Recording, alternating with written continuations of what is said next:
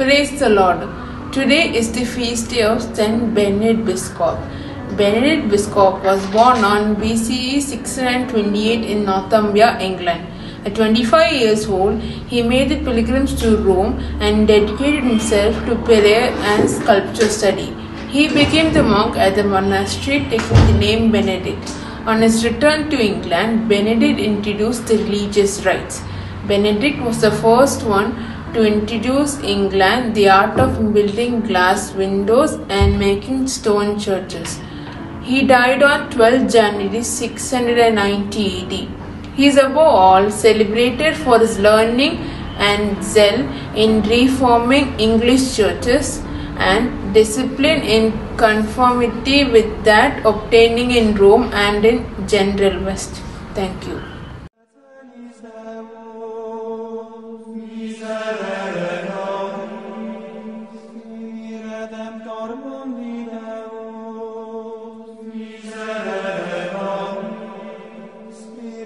Osam Pere